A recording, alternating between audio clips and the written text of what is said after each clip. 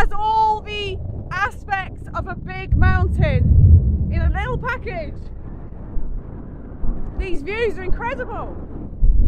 Anything means forever, ever, or never mind. Oh, I. Hello, Hi, this is Ceri. and this is Kat. And we are Tea in Valhalla. Yeah, sorry for the weird crouch down stealth position. We're just getting buffeted by winds at the Oh. moment, so we thought we'd come and say hello to you guys and let you know we're going to take you up Cnicht today. Started off our walk from Croesor. We're in the Moelwyn area of Snowdonia National Park. Yes, it's the Welsh Matterhorn, So but it's uh, really windy at the moment. So um, we're going to try not to get blown off the yeah, top. which is like which is like oh, I'm buffeting because I get buffeted. Lovely. We're in beautiful Croesor, and this clapper fence here. You can follow it all the way along, and it follows the old Croesor tramway, which led to the quarries down far down in the valley there. So that's a really nice thing. You can follow that all the way if you wanted to. The old tramway.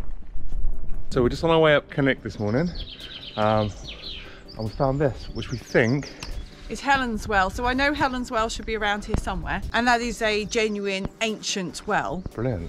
that's been used in this area for just so long.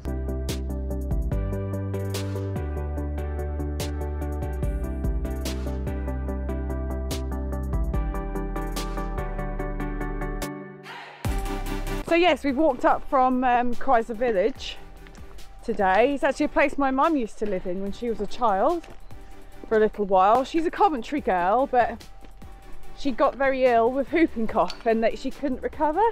So they told her she had to leave and go and get fresh air. So she did, and this is where she stayed for almost a year, I think it was. But We have checked the weather forecast and things today. It's 40 mile an hour winds forecast today. so it might be a bit windy, but it'll be fine. It'll be fine. So we're still just making our way up this path, keeping the big stone wall, the moss covered stone wall. Must be about five or six foot tall Yeah. on our left. Bigger than that. I'm five foot six, Ceri. Sorry.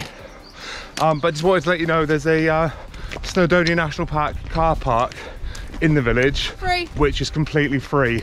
And as you know, that's a great price. Um, yes, so we just make our way up. So you walk through the village to the first gate, and it's just straight up this sort of track. There are signposts for Cnicht everywhere. Yeah. It's one of the most well signposted mountains we've ever walked. And by the way, Cnicht means knight, Knight. as in knight in shining armour. So, oh, nice. mentioned the signposts and we just found our uh, first one of the day first probably about a third to be honest with you And there she blows.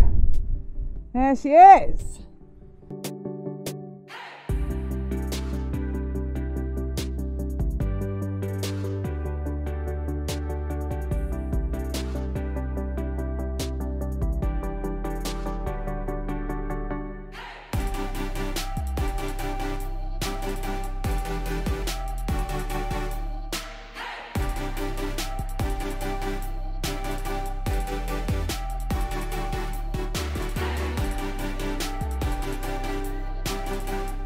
Hopefully you good folk can hear me okay. Bit windy.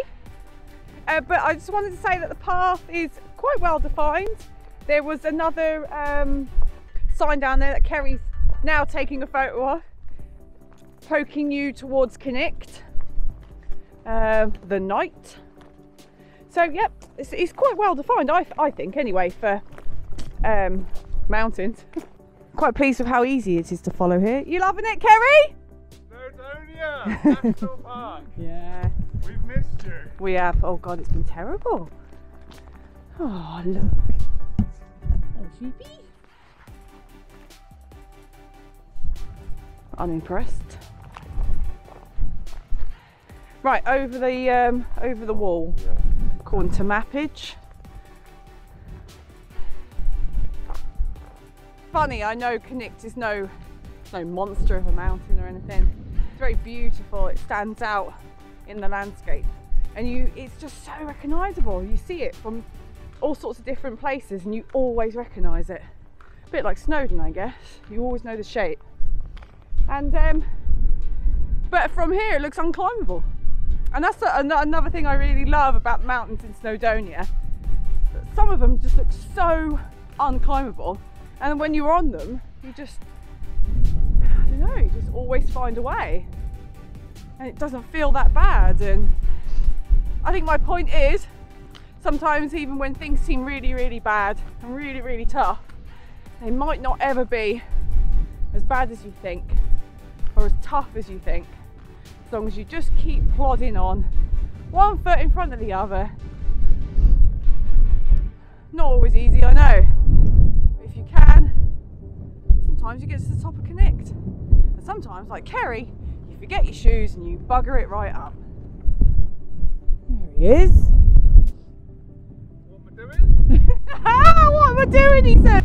Good thing with the the high wind speed, the clouds are moving through quite quickly, giving us great views, vistas out over the sort of Porthmadog area and Portmeirion, and then up into the other valleys as well, over the Moelwyns and surrounding areas. Yeah, really windy now. Had to take the hat off and get the old hood on because I fear losing it. Um, but not too bad, just a bit buffety. Um, yeah, we never came, we didn't come up this way when we first did Cnicht years ago, years and years ago now. We come up a totally different way. And this is a lot more pleasant, it's just really beautiful. The path is really clear so far, obviously. I'll keep you updated on path clearness. But so far, lovely.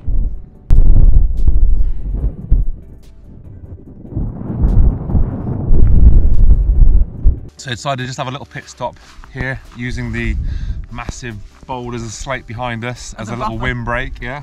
Um, gonna grab a pork pie and a cup of tea. Also notice this little table area, very handily provided for us by Snowdonia National Park. Thank you very much. Uh, yeah, fantastic, just absolutely eyes bulging out my head on the way Yeah, up. lovely. Sneaky little pork pie. Don't know why it's sneaky. Another really nice bonus about Cnicht and the Moelwyn uh, range is that it's really quiet. Not seen anyone today. There No. was one other car in the car park. Yeah, Admittedly, we, we are midweek. we are midweek, yeah. Um, it's relatively early. We're actually started a bit later than our normal adventures. We Um, did, because obviously we're with other people. Yeah. And we're on holiday. We're on holiday. Whoa! Oh!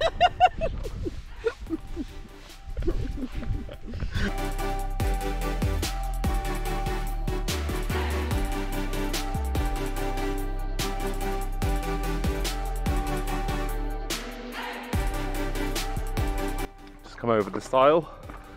Really clear, defined path. Bit up and down. Fantastic.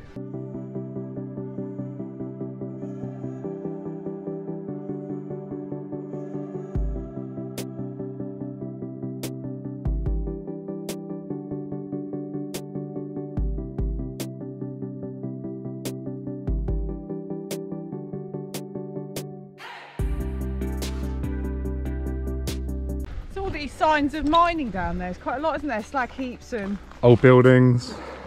shaft entrances and things. Yeah. Just looks cool. Also, I'm pathing. I think we're both puffing to be honest.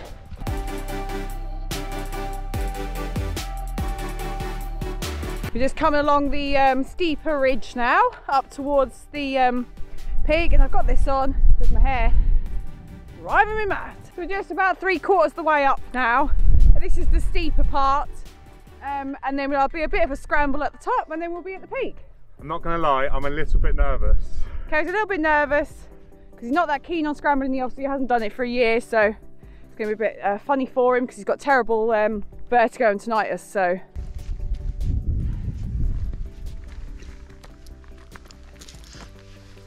Oh, you got your band on.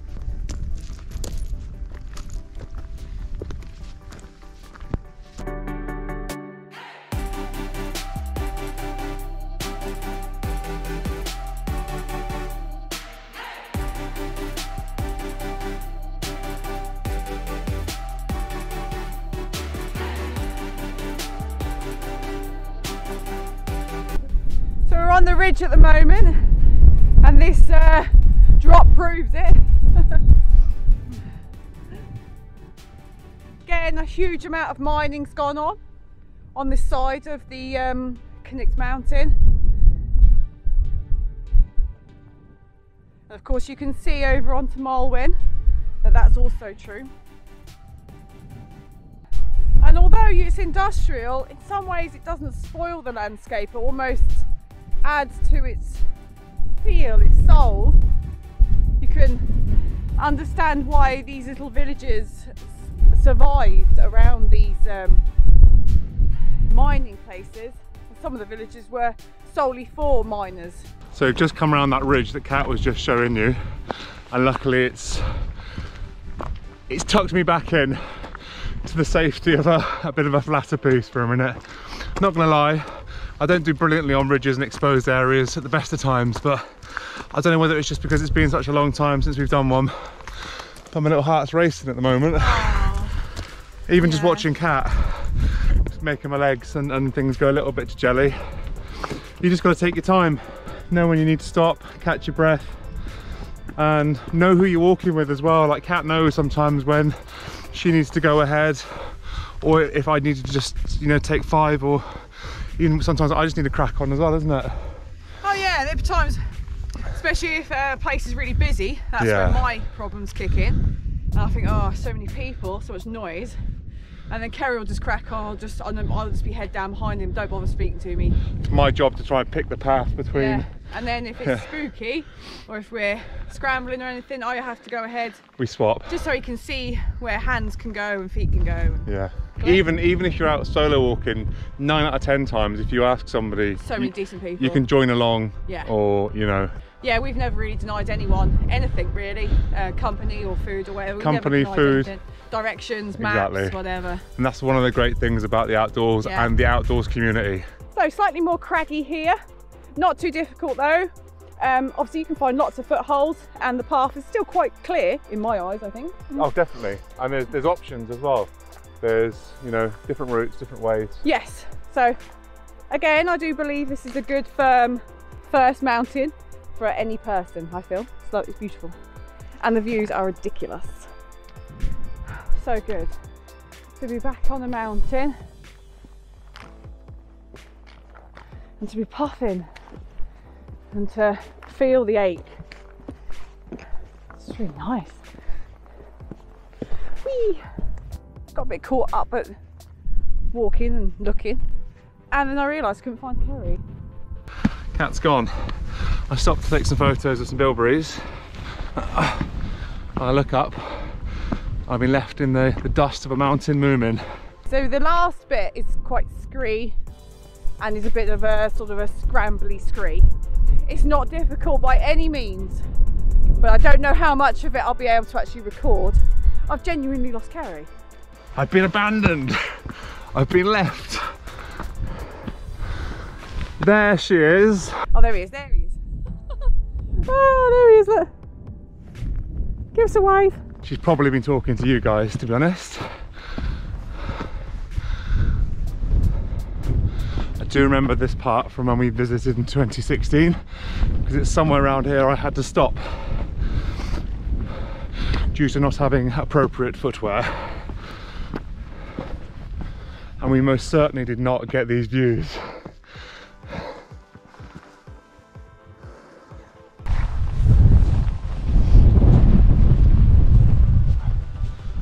Let's get up the summit.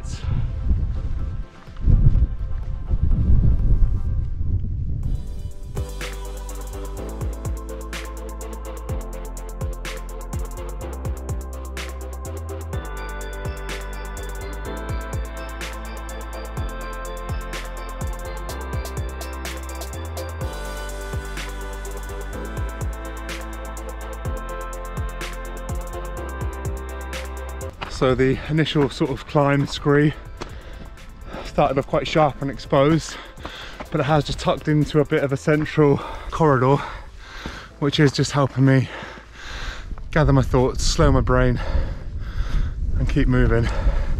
He says, whilst causing a traffic jam for Kat.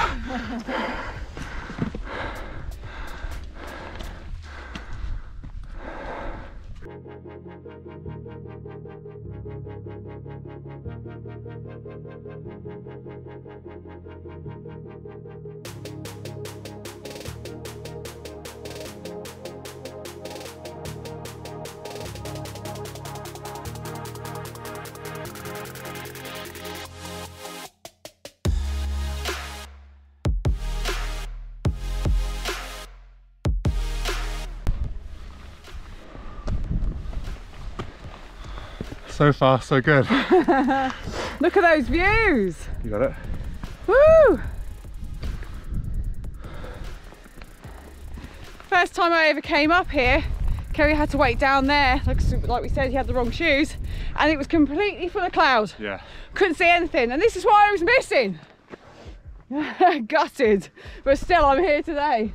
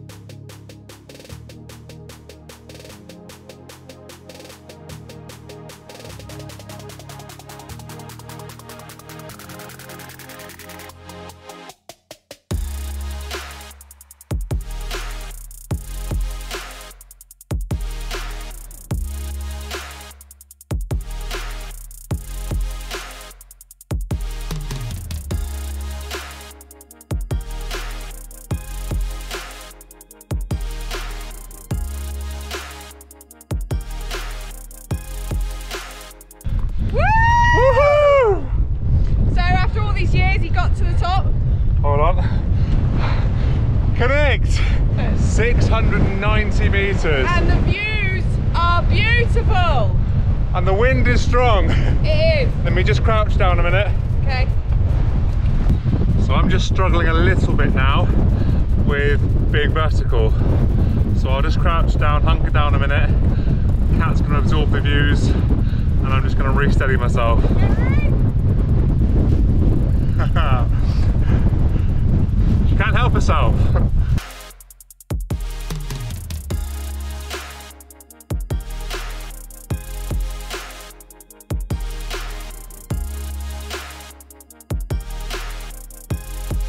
Very wobbly biking! Woo! Very windy. Right? Beautiful. The views magnificent. If you want to do a first mountain, this may be it. Where it's rugged, it feels massive. Has all the aspects of a big mountain in a little package. These views are incredible. So that is Cnicht Other. Twin peak mountain. That's quite a lot shorter though by quite some meters, but still very pretty. Just finding my feet a bit now. Starting to feel a bit more stable. Oh, it's, it's, fantastic. There's little tarns. The place is full of water. Some are natural tarns and some have been dammed for the mining in this area. Yeah, and again, there's more, more sort of signs of the mining over there. Lots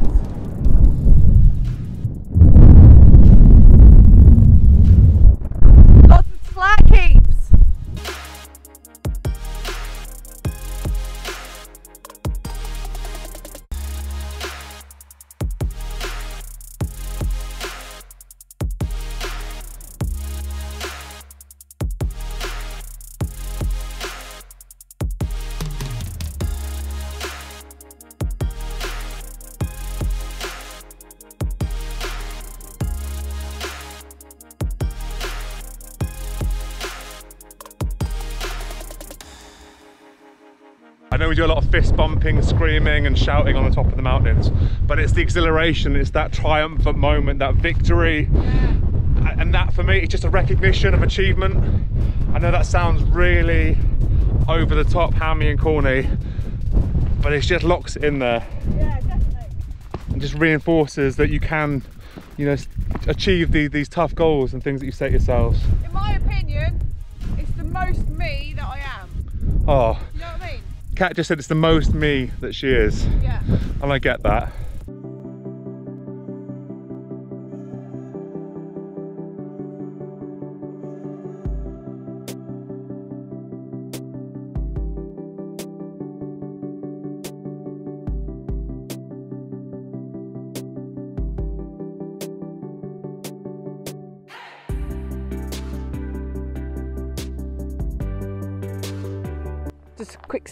A this what looks like a little hut. um, sort of little fire area. And I thought to myself, my God, there's bloody, there's copper in these rocks. Look, they're blue. Then I realised it's just where the sheep are rubbing on the side. Obviously, with their because they're all sprayed, just their markings, they're indicators of what farmer they belong to. Yeah, that's all it is. But I honestly thought I'd struck um, copper then. I thought, oh, I'm, I am rich. I was about to start mining. Turns out. Blue eagle to purple eagle coming over. Hello, purple eagle, blue eagle here. Come in. Uh, I'm no, I'm in. Come in, come in. Yourself. Over. The mountain crazies have set in. So yes, thank you for joining us. That was Cnicht. Um, we've just stopped for a cup of tea and some tin pineapple. And we just spotted off on the horizon Snowdon with a lovely dusting of snow. Um, so just over there, that's Mount Snowdon up in the clouds. Can't tell you oh how relieved I am to have done Cnicht. Been on my to-do list after Trainer Gate. Just gonna hand you Better over. over, Ceri. I'm gonna hand you over to Purple Eagle now. I thought my tea had spilt. Ah, everyone's seen it. They saw it. Disgusting. Yeah, yeah, it came out of his nose. He tried to hide it. Tried to hide that shame. I hope no one's watching this when they're eating their dinner. So yeah, we've had a brilliant um, mornings climbing up Cnicht and showing you the Moelwyns and some of Snowdonia. Um, we're probably just going to head back down now into Croesor where Bill and Kath are waiting for us at base camp. Yep. Um, we're going to have a little poke around the village and, and take in some old um, memories. Uh, so thank you. Yeah, it, really enjoyed that. If you have enjoyed the video, please hit the thumbs up, Tink. leave a little comment down below. Subscribe if you haven't already. Really helps, encourages us to get out and share these adventures with you. And of course, don't forget to click the bell notification so that you know when we've uploaded another video. Mm-hmm. We'll be back with you again soon for another adventure. Real soon. So until then, stay safe and well. Take care and keep enjoying those green spaces. Take care. Bye, everyone. Bye bye.